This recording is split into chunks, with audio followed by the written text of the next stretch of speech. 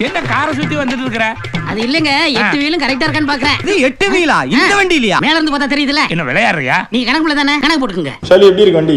வேற லெவல். உண்மை எக்ஸ்பெக்ட் பண்ணிருக்கோம் கம்ஃபர்ட் வரும் நீங்க மாட்டீங்களா?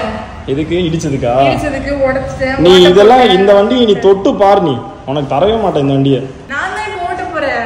இது வரைக்கும் உடச்சல பத்தாதா?